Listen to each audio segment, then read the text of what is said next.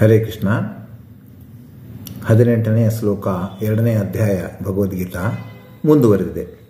ಅಂತವಂತ ಇಮೇ ದೇಹ ನಿತ್ಯ ಸೂಕ್ತ ಶರೀರಿಣ ಅನಾಶಿನೋ ಪ್ರಮೇಯಸ್ಯ ತಸ್ಮಾತ್ ಯುದ್ಧಸ್ವ ಭಾರತ.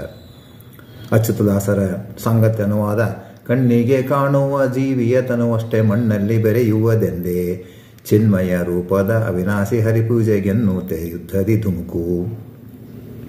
ಹಿಂದಿನ ಇದರಿಂದ ಕಂಟಿನ್ಯೂ ಆಗಿದೆ ಈಗ. ಸಂಸಾರದಲ್ಲಿರುವವರ ಜಡದೇಹಗಳು ಮಾತ್ರ ಅನಿತ್ಯವಾಗಿರುತ್ತವೆ. ಆ ಜಡದೇಹಗಳಿಗೆ ನಾಶವು ಖಚಿತ, ನಿಶ್ಚಿತ.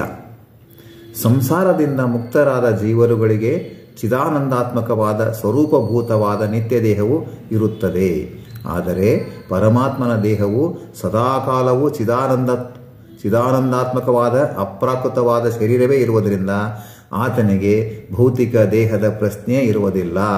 ಪರಮಾತ್ಮನು ಈ ಭೂಮಿಯಲ್ಲಿ ಅವತಾರವನ್ನು ತಡೆದಾಗಲೂ ಕೂಡ ಆತನಿಗೆ ಚಿದಾನಂದಾತ್ಮಕವಾದ ಅಪ್ರಾಕೃತ ಶರೀರವೇ ಇರುತ್ತದೆ. ನಮ್ಮಂತೆ ಪಂಚಭೌತಿಕವಾದ ಭೌತಿಕ ದೇಹ ಇರುವುದಿಲ್ಲ. ಆದ್ದರಿಂದ ಪರಮಾತ್ಮನು ಇಲ್ಲಿ ಅವತಾರ ತಾಳಿದರೂ ಆತನ ದೇಹಕ್ಕೆ ನಾಶವಿಲ್ಲ ಎಂದೇ ನಾವು ತಿಳಿಯಬೇಕು. ವೈಕುಂಠ ಲೋಕದ ವರ್ಣನೆ ಭಾಗವತ ಪುರಾಣದಲ್ಲಿ ಮಾಡಲಾಗಿದೆ. ನ ಯತ್ರ ಮಾಯಾ ಕಿಮುಪ ಕಿಮುತಾಪರೆ ಹರೇಹೇ ಅನುವೃತ ಯತ್ರ ಸುರಾಸುರಾರ್ಚಿತಾ ಇತ್ಯಾದಿ ಇದೆ. ಅದರ ವಿವರಣೆ ವೈಕುಂಠ ಲೋಕದಲ್ಲಿ ರಜೋಗುಣವು ತಮೋಗುಣವು ಹಾಗೆಯೇ ಮಿಶ್ರವಾದ ಸತ್ವಗುಣವು ಇರುವುದಿಲ್ಲ. ಕಾಲದಿಂದ ಉಂಟಾಗಬಹುದಾದ ವಿಕಾರಗಳಿಗೆ ಇಲ್ಲಿ ಅವಕಾಶವಿರುವುದಿಲ್ಲ. ಅಂದರೆ ನಮ್ಮಲ್ಲಿ ಇರತಕ್ಕಂತಹ ಏನು ಗುಣವಿದೆ, ಸತ್ವ, ರಜ, ತಮ ಗುಣಗಳು, ಇವು ಮಿಶ್ರವಾದಂಥ ಗುಣಗಳು. ಪಂಚೀಕರಣದಿಂದ ಬಂದಂಥ ಗುಣಗಳು. ಮಿಕ್ಸ್ ಆಗಿ ಬಂದಿವೆ ಇಲ್ಲಿ. ಬ್ರಹ್ಮಾಂಡ ಸೃಷ್ಟಿ ಪ್ರಕರಣದ ನನ್ನದೇ ಆದ ಪಾಠಗಳನ್ನು ನೀವು ಇಲ್ಲಿಯೇ ಇದೆ. ಅದರ ಒಂದು ಎಪಿಸೋಡ್ಗಳಿವೆ. ಪ್ಲೇ ಲಿಸ್ಟ್ಗಳು ಅದನ್ನು ಕೇಳಿ ನೀವು ಅದರ ಬಗ್ಗೆ ಹೆಚ್ಚು ಮಾಹಿತಿಯನ್ನು ತೆಗೆದುಕೊಳ್ಳಬಹುದು. ಕಾಲದಿಂದ ಉಂಟಾಗಬಹುದಾದ ವಿಕಾರಗಳಿಗೆ ಇಲ್ಲಿ ಅವಕಾಶವಿಲ್ಲ. ಕಾಲದಿಂದ ಉಂಟಾದ ವಿಕಾರಗಳು ಅನೇಕವೇ ನೋಡ್ರಿ ನಾವು ಚಿಕ್ಕವರು, ದೊಡ್ಡವರು, ಮುದುಕರು, ಆಮೇಲೆ ಏನಪ್ಪ ಅಂದರೆ ಅಂತ್ಯ, ಇವೆಲ್ಲ ಆಗ್ತಾವೆ ದೇಹದಲ್ಲಿ. ಏನೇನು ಇದ್ರೂ ಕೂಡ ದೇಹದಲ್ಲಿ ಬದಲಾವಣೆ ಆಗ್ತವೆ. ಎಲ್ಲ ಕಡೆ ಬದಲಾವಣೆ ಆಗ್ತದೆ ಕಾಲದಿಂದ. ಅಂತಹ ಅವಕಾಶ ಅಲ್ಲಿ ಇರುವುದಿಲ್ಲ ವೈಕುಂಠ ಲೋಕದಲ್ಲಿ. ಅವಿದ್ಯೆಯ ಸುಳಿವೇ ಇರುವುದಿಲ್ಲ. ಅವಿದ್ಯೆ ಅಂತಕ್ಕಂಥದ್ದು ಇಲ್ಲವೇ ಇಲ್ಲ. ಕಾಮಾದಿ ಪ್ರಾಕೃತ ದೋಷಗಳು ಇಲ್ಲಿ ಇರುವುದಿಲ್ಲ. ಆರಿಷಡ್ ವರ್ಗಗಳಿಂದ ಆದಂತಹ ದೋಷಗಳು, ಕಾಮಾದಿ ಪ್ರಾಕೃತ ದೋಷಗಳು, ಇವೆಲ್ಲ ದೋಷಗಳು ಈ ಲೋಕದಲ್ಲಿ ಪ್ರಾಕೃತ ದೋಷಗಳು. ಅಲ್ಲಿ ಅಪ್ರಾಕೃತವಾಗಿದ್ದದ್ದು, ಅಲ್ಲಿ ಆ ದೋಷಗಳು ಇರುವುದಿಲ್ಲ. ವೈಕುಂಠ ಲೋಕದಲ್ಲಿ ಬ್ರಹ್ಮಾದಿಗಳನ್ನು ಇತರ ಎಲ್ಲ ದೇವತೆಗಳು ಪೂಜಿಸುತ್ತಾರೆ. ವೈಕುಂಠ ಲೋಕದಲ್ಲಿ ಮುಕ್ತರಾದಂತಹ ಬ್ರಹ್ಮಾದಿಗಳು ಇರ್ತಾರಲ್ಲ, ಹೆಚ್ಚಿನ ಲೆವೆಲ್ ದೇವತೆಗಳು ಇರ್ತಾರಲ್ಲ, ಅವರನ್ನು ಇತರ ದೇವತೆಗಳು ಲೋಯರ್ ಲೆವೆಲ್ ದೇವತೆಗಳು ಪೂಜೆ ಮಾಡ್ತಾ ಇರ್ತಾರೆ. ಅಂತಹ ಶ್ರೇಷ್ಠರಾದ ಬ್ರಹ್ಮಾದಿಗಳು ಶ್ರೀಹರಿಗೆ ಸೇವಕರಾಗಿರುತ್ತಾರೆ. ಅಂತಹ ಶ್ರೇಷ್ಠರಾದಂಥ ಜೀವ ಉತ್ತಮರಾದ ಜೀವೋತ್ತಮರಾದಂಥ ಬ್ರಹ್ಮಾದಿಗಳು ಮುಕ್ತರಾಗಿ ಅಲ್ಲಿ ವೈಕುಂಠ ಲೋಕದಲ್ಲಿ ಹೋಗಿರುತ್ತಾರಲ್ಲ, ಅವರು ಶ್ರೀಹರಿಗೆ ಸೇವಕರಾಗಿರುತ್ತಾರೆ. ಶ್ರೀಹರಿಯನ್ನು ಯಾವಾಗಲೂ ಸೇವಿಸುತ್ತಿರುತ್ತಾರೆ.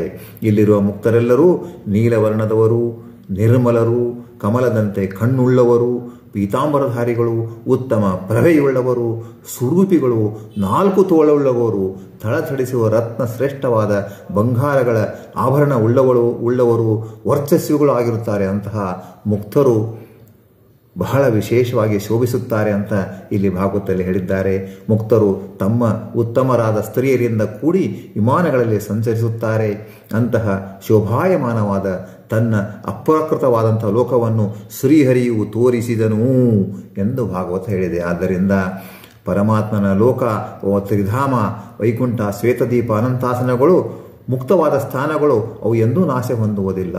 ಅಪ್ರಾಕೃತವಾಗಿದೆ.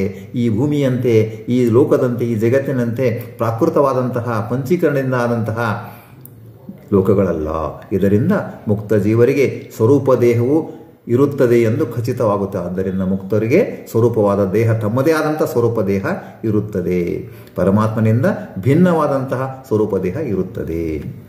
ಚಿದಾನಂದ ಶರೀರೇಣ ಸರ್ವೇ ಮುಕ್ತ ಯಥಾ ಹರಿ ಭುಂಜತೆ ಕಾಮತೋ ಭೋಗಾನ್ ತದಂತರ್ಬಹಿರೇವ ಚ ಇತಿ ಪರಮಶ್ರುತಿ ಪರಮಶ್ರುತಿ ಹೇಳ್ತದೆ, ಶ್ರೀಹರಿಯಂತೆ ಎಲ್ಲ ಮುಕ್ತರೂ ತಮ್ಮ ಚಿದಾನಂದಾತ್ಮಕವಾದಂಥ ಶರೀರದಿಂದ ಶ್ರೀಹರಿಯ ಒಳಗೂ ಹೊರಗು ತಮ್ಮ ತಮ್ಮ ಯೋಗ್ಯತಾನುಸಾರ ಭೋಗವನ್ನು ಅನುಭವಿಸುವರು ಅಂತ ಪರಮಶ್ರುತಿ ಹೇಳ್ತಾ ಇದರಿಂದ ಮುಕ್ತಿ ಮುಕ್ತಿಯಲ್ಲಿ ಕೂಡ ಭೇದವಿದೆ, ತಾರತಮ್ಯವಿದೆ ಅಂತಕ್ಕಂಥ ವಿಷಯ ತಿಳಿದು ಬರ್ತದೆ.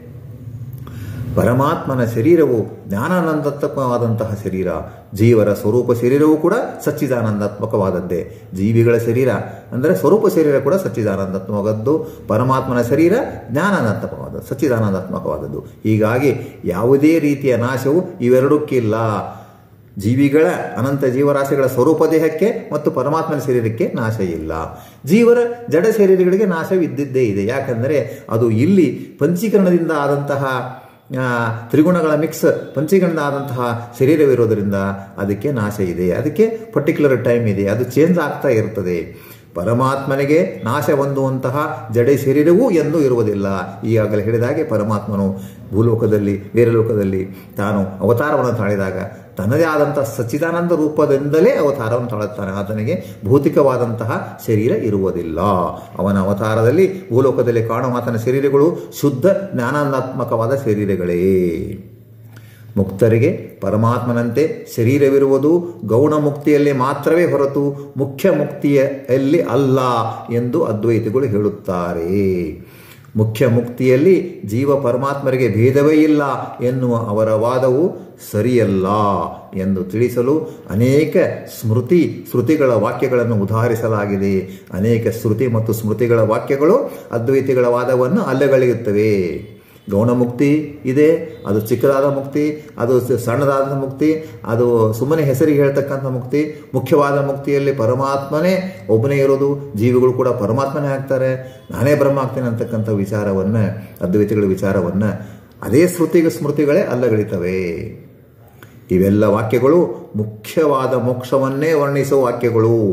ಇವುಗಳು ಭೇದವನ್ನೇ ಹೇಳಿವೆ. ಐಕ್ಯವನ್ನು ಸುತರಾಮ್ ಹೇಳಿಲ್ಲ. ಇದು ಕೇವಲ ಗೌಣ ಮುಕ್ತಿಗೆ ಹೇಳಿದ್ದಲ್ಲ. ಮುಖ್ಯವಾದ ಮುಕ್ತಿಗೆ ಹೇಳಿದಂತಹ ವೇದವಾಕ್ಯಗಳೇ ಅಂತಕ್ಕಂಥ ವಿಚಾರಗಳನ್ನು ನಾವು ಮನದಟ್ಟಿ ಮಾಡಿಕೊಳ್ಳಬೇಕು. ನ ಚ ಜೀವೇಶ್ವರೈಕ್ಯಂ ಮುಕ್ತಾವಪಿ ಇದಂ ಜ್ಞಾನಮುಪಾಶ್ರಿತ್ಯ ಮಮ ಸಾಧರ್ಮ್ಯಮಾಗತಾಃ ಸರ್ಗೇಪಿ ನೋಪಜಾಯಂತೆ ಪ್ರಳಯೇ ನ ವ್ಯತಂತಿ ಚ. ಮುಕ್ತಿಯಲ್ಲಿಯೂ ಜೀವ ಪರಮಾತ್ಮರ ಐಕ್ಯವು ಇರುವುದಿಲ್ಲ. ಏಕೆಂದರೆ ಈ ಜ್ಞಾನವನ್ನು ಪಡೆದು ನನ್ನ ಸಾಧರ್ಮ್ಯವನ್ನು ಪಡೆಯುತ್ತಾರೆ. ಬಳಿಕ ಸೃಷ್ಟಿ ಕಾಲದಲ್ಲಿ ಮತ್ತೆ ಹುಟ್ಟುವುದಿಲ್ಲ. ಪ್ರಳಯ ಕಾಲದಲ್ಲಿ ದುಃಖ ಪಡುವುದಿಲ್ಲ ಎಂದು ಹೇಳಲಾಗಿದೆ. ಯೋ ವೇದನಿಹಿತಂ ಗುಹಾಯಾಂ ಪರಮೇ ವ್ಯೋಮನ್ ಸೋಸ್ನುತೆ ಸರ್ವಾನ್ ಕಾಮಾನ್ ಸಹ ಬ್ರಹ್ಮಣ ಉಪಸ್ಥಿತ ಯಾರು ಹೃದಯ ಗುಹೆಯಲ್ಲಿದ್ದ ಪರಮಾತ್ಮನನ್ನು ತಿಳಿದುಕೊಳ್ಳುತ್ತಾನೋ ಅವನು ಸರ್ವಜ್ಞನಾದ ಪರಮಾತ್ಮನೊಡನೆ ಇದ್ದು ಸರ್ವಭೋಗಗಳನ್ನು ಅನುಭವಿಸುತ್ತಾನೆ ಎಂದು ಶ್ರುತಿಯ ವಾಕ್ಯವಿದೆ. ಆದ್ದರಿಂದ ಮುಕ್ತಿಯಲ್ಲಿ ಪರಮಾತ್ಮನೊಡನೆ ಅವನು ಇರುತ್ತಾನೆ, ಭೋಗಗಳನ್ನು ಅನುಭವಿಸುತ್ತಾನೆ ಅಂದರೆ ಪರಮಾತ್ಮನ ಬೇರೆ ಇದ್ದಾನೆ, ಜೀ ಅನಂತ ಜೀವರಾಶಿಗಳು ಬೇರೆ ಬೇರೆ ಇದ್ದಾರೆ ಇಲ್ಲಿಯೂ ಮತ್ತು ಅಲ್ಲಿಯೂ.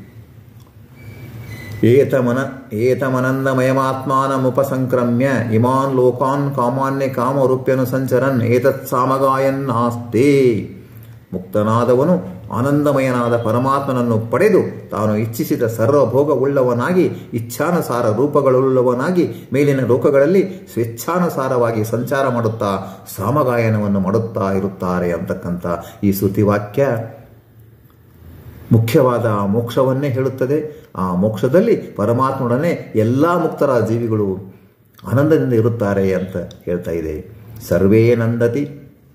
सर्वे नंदी यशसागतेन सभासाहेन सख्या सखाय सखायः किल्विषस्मृत् पितुशरणिर्हि येषामरंहितो भवति वाजिनाया।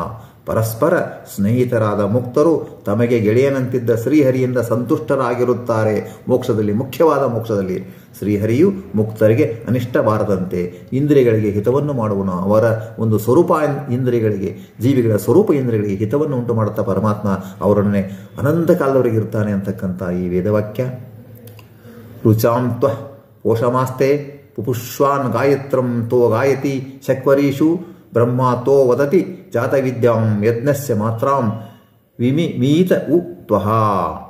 ಇಲ್ಲಿ ಮುಕ್ತರಾದಂಥ ಬ್ರಹ್ಮಗಳು ಬ್ರಹ್ಮರು, ಜೀವೋತ್ಮರು. ಅಂದರೆ ಅನಂತ ಜೀವರಾಶಿಗಳಲ್ಲಿ ಉತ್ತಮರು. ಕೆಲವು ಮುಕ್ತ ಬ್ರಹ್ಮರು ರುಕ್ಕುಗಳನ್ನು ಚೆನ್ನಾಗಿ ಪಠಿಸುವರು. ನೋಡ್ರಿ ವೇದವಾಕ್ಯಗಳನ್ನು ಚೆನ್ನಾಗಿ ಪಠಿಸ್ತಾ ಇದ್ದಾರೆ ಕೆಲವು ಮುಕ್ತ ಬ್ರಹ್ಮರು.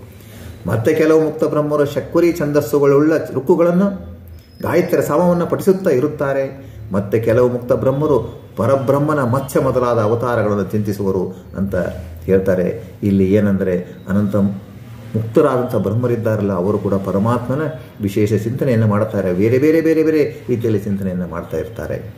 ಪರಂ ಜ್ಯೋತಿ ರೂಪ ಸಂಪದ್ಯ ಸ್ವೇನ ರೂಪೇಣಾಪಿ ನಿಷ್ಪದ್ಯತೆ ಸ ತತ್ರ ಪರ್ಯೇತಿ ಜಕ್ಷನ್ ಕ್ರೀಡನ್ ರಮಮಾಣ.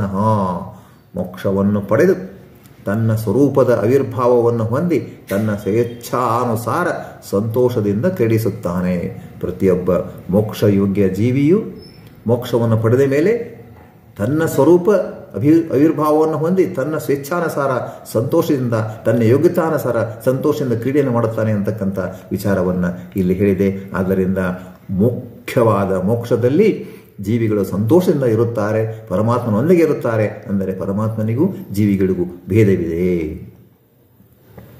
ತದಾ ವಿದ್ವಾನ್ ಪುಣ್ಯಪಾಪೇ ವಿಧೂಯ ನಿರಂಜನ ಪರಮಂ ಸಾಮ್ಯಮುಪೈತಿ. ಪರಮಾತ್ಮನ ಸಾಕ್ಷಾತ್ಕಾರವನ್ನು ಹೊಂದಿದ ಮೇಲೆ ಜೀವಿಯು ಮೋಕ್ಷಕ್ಕೆ ಪ್ರತಿಬಂಧಿತವಾದ ಪುಣ್ಯ ಮತ್ತು ಪಾಪಗೆರಡನ್ನೂ ಕಳೆದುಕೊಂಡು ನಿರ್ದೋಷನಾಗಿ ತನ್ನ ಯೋಗ್ಯತಾನುಸಾರ ಪೂರ್ಣಾನಂದವಾದಂತಹ ಸಾಮ್ಯವನ್ನು ಪಡೆಯುವನು. ಪರಮಾತ್ಮನ ಸಾಕ್ಷಾತ್ಕಾರನ ಹೊಂದಿದ ಮೇಲೆ ಜೀವಿಯ ಪುಣ್ಯ ಮತ್ತು ಪಾಪಗಳು ಎರಡೂ ಹೊರಟು ಹೋಗ್ತವೆ ಅನಿಷ್ಟ ಪುಣ್ಯ, ಅನಿಷ್ಟ ಪಾಪ ಎಲ್ಲವೂ ಹೊರಟು ಹೋಗುತ್ತದೆ. ಹಿಂದಿನ ಕರ್ಮ ಹೊರಟು ಹೋಗ್ತದೆ ಮುಂದಿನ ಕರ್ಮ ಬರೋದಿಲ್ಲ. ಪ್ರಾರಬ್ಧ ಕರ್ಮದ ಪುಣ್ಯ ಮತ್ತು ಪಾಪಗಳನ್ನು ಎರಡನ್ನೂ ಕಳೆದುಕೊಳ್ತಾನೆ ನಿರ್ದೋಷನಾಗಿ ತನ್ನ ಯುಗತಾನುಸಾರ ಪೂರ್ಣನಾಗುತ್ತಾನೆ. ತನ್ನ ಜೀವಿಗೆ ಆತ ಚೇತನ ಯಾವ ರೀತಿ ಇದೆ? ಎಷ್ಟು ಪುಣ್ಯ, ಫುಲ್ ಆತನಿಗೆ ಬೇಕೋ ಅಷ್ಟು ಪೂರ್ಣವಾದ ಆನಂದವನ್ನು ಪಡೆಯುತ್ತಾನೆ, ಸಾಮ್ಯವನ್ನು ಪಡೆಯುತ್ತಾನೆ. ಇವೆಲ್ಲ ವಾಕ್ಯಗಳು ಮುಖ್ಯವಾದ ಮೋಕ್ಷದಲ್ಲಿ ಪರಮಾತ್ಮನಿಗೂ ಮೋಕ್ಷವನ್ನು ಹೊಂದಿದ ಜೀವಿಗಳಿಗೂ ಭೇದವನ್ನೇ ಹೇಳುತ್ತವೆ. ಆದ್ದರಿಂದ ಜೀವಿಯು ಎಂದೂ ಪರಮಾತ್ಮನಾಗಲಾರ? ಪರಮಾತ್ಮನೊಂದಿಗೆ ಸಾಮ್ಯವನ್ನು ಹೊಂದಲಾರ? ಮುಖ್ಯವಾದ ಮೋಕ್ಷದಲ್ಲಿ ಕೇವಲ ಪರಮಾತ್ಮ ಒಬ್ಬನೇ ಇದ್ದಾನೆ ಅಂತಕ್ಕಂಥದ್ದು ಇಲ್ಲ. ಮೋಕ್ಷದಲ್ಲಿ, ಮುಖ್ಯವಾದ ಮೋಕ್ಷದಲ್ಲಿ ಪರಮಾತ್ಮನೊಂದಿಗೆ ಜೀವಿಗಳು ಇದ್ದು ತಮ್ಮ ಯೋಗ್ಯತಾನುಸಾರಂಥ ಸುಖವನ್ನು ಪಡೆಯುತ್ತಾ ಇರುತ್ತವೆ.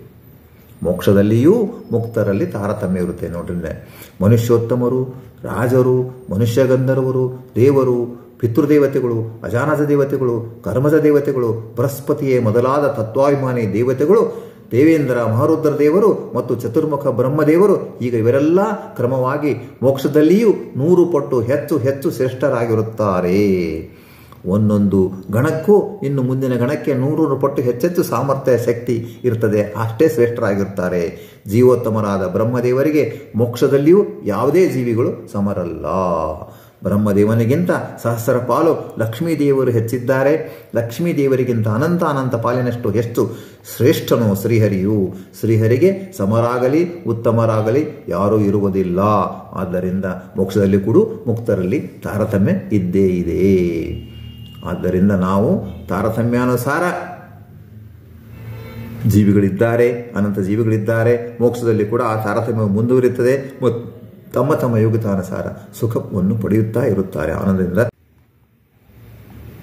ಭಾರತೀಯ ಹರಿದಾಸ್ ಸಾಹಿತ್ಯ ವಿದ್ಯಾಲಯ ಬೆಂಗಳೂರು, ಇಪ್ಪತ್ತೈದು ವರ್ಷಗಳ ಸಾರ್ಥಕ ಹರಿದಾಸ್ ಸಾಹಿತ್ಯ ಸೇವೆಯಲ್ಲಿ silver jubilee celebrations nineteen ninety seven to two zero two two we are proud to be the first established school of Haridasa Sahitya to prepare syllabus and study materials for each courses in Haridasa Sahitya starting from elementary courses, diploma courses and up to the post-graduation level of studies. Newly formed institutions in the stream of Haridasa Sahitya have followed our vast experience in one or other way.